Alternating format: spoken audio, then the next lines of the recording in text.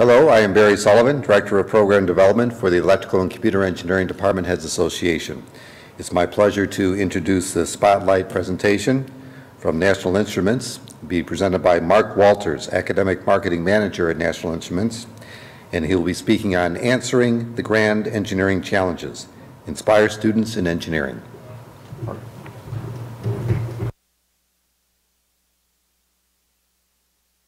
Thank you. So you might be familiar with this slide. This outlines the 14 top engineering grand challenges set forth by the National Academy of Engineering. Now this represents a beacon or a call for scientists and engineers to be able to solve these types of challenges in the 21st century to be able to improve society.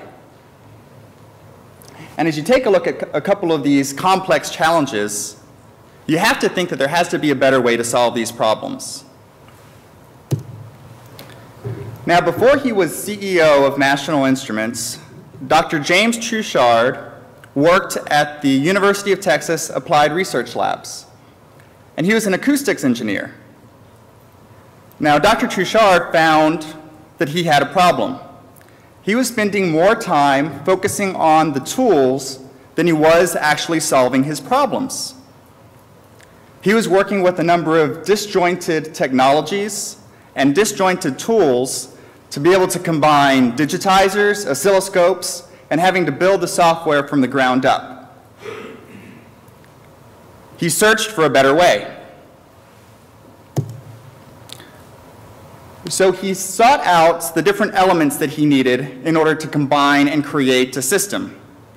Now those elements include measurement and control, math and analysis, a graphical user interface, different ways and approaches with math mathematical models of computation to be able to solve your problem, and making sure that he was able to incorporate the latest technologies, sometimes the disruptive technologies, that allowed him to get to the results faster. And he created a company that used the hardware to be defined by the software to incorporate all of these key elements into one standardized platform, empowering the user to be able to design, prototype, and deploy applications that require measurement and control.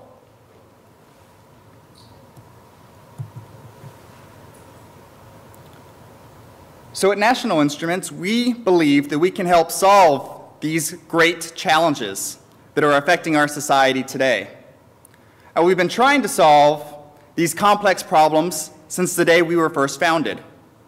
We believe it's through science and engineering that we're going to be able to create solutions for these problems. And National Instruments is committed to equipping scientists and engineers with tools that accelerate the productivity, the innovation, and the, the discovery of these problems, allowing scientists and engineers to focus on the problem at hand and not the tool. One of the areas that we believe that these complex challenges are going to be solved is with the next generation of innovators, the people who are going to be pursuing engineering. So we are very committed to academia to the universities and colleges that you belong to. Specifically, these three main areas to attract new students into engineering, to engage and retain these students, and then to equip and prepare your students and researchers to be able to solve their problems. Now there's a number of different types of programs, initiatives, and collaborations we have in the K-12 space.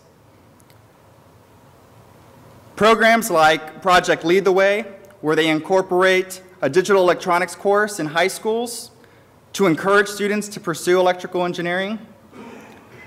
And other programs like the Southern Regional Education Board that provides a hands-on STEM experience to these high schools and their students.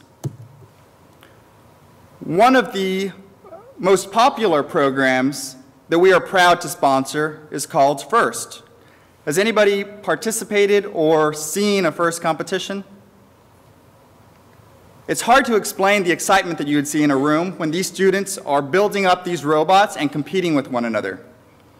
At the age starting at nine, nine years old, where they're actually programming an embedded robot to do a specific challenge, all the way up until high schools, where these students are tasked with the problem to be able to build up a 120-pound robot that requires parallel programming, sensors and actuation, wireless and network systems, in a very limited amount of time. It's amazing the output from this program in just six weeks and the amount of excitement that you see in these kids' eyes as they're going through this type of competition. It's through programs like this that we believe that we are inspiring and really exciting students to pursue engineering and science. But once we have those students hooked once we have them in, in engineering, we can't just stop there.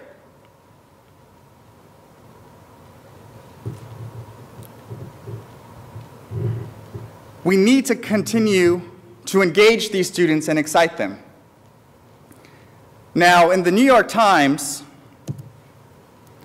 they called this thing called the Math and Science Death March in Engineering, where the first two years in some college programs we provide a blizzard of math courses and theory-based courses in lecture halls of over 100 students. When we do this, we risk the chance of keeping a student from becoming the next innovator who's going to be able to solve our clean water crisis or be able to provide affordable energy to everyone if they leave engineering we have to do something better. We have to be able to give that student the theory and allow them to see how that's, what the result's going to be. We need to give them the equation and allow them to apply it and do engineering. So they can get a deeper understanding of this material, be able to apply it, and really see how relevant it applies to after they graduate. We can't wait until senior design before they're able to apply these equations. We have to do it when they learn it. So we have developed a number of educational platforms that have been designed and developed for engineering classrooms and laboratories that combine industry standard hardware with software and complement this with courseware and textbooks that allow you to focus on the concepts and allow students to understand the material. Now, all of these different platforms can span throughout the range of the engineering curriculum for circuits and electronics, for measurements and instrumentation, RF communications, and controls and robotics.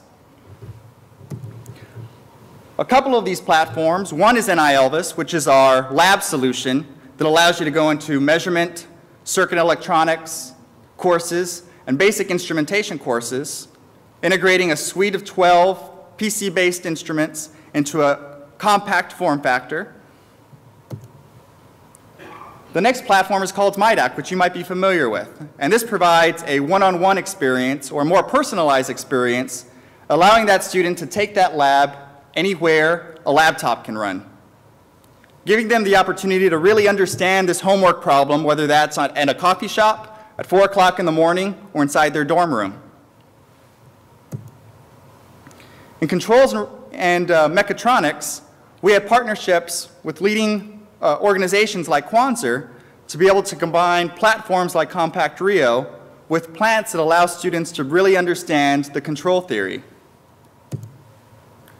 And finally, we have communication design platforms like the Universal Software Defined Radio that allows a person or a student to be able to take very abstract mathematical concepts and communications and be able to apply those to really understand modulation and demodulation by creating things like their own FM radio. So one example is at Rutgers, where a professor incorporated a digital communications system lab inside of his own software-defined radio lab. And this is what we seek, is when students actually get excited about the engineering. Now, this was a quote that we got from one of the students who attended his class, where they were excited because they got that deep understanding of how those communication systems actually work. The last step is to equip and prepare these students to solve their problems, whether that's a student, a graduate student, or even a researcher. We need to be able to supply them with industry standard hardware that allows them not only to solve their problem, but also prepare them for industry. So graphical system design is this platform-based approach for measurement and control that standardizes on these key platforms, allowing the user to be able to incorporate disruptive technologies and be able to take and solve applications that require measurement and control. In applications like test and monitoring, embedded applications or control applications, and even cyber-physical systems.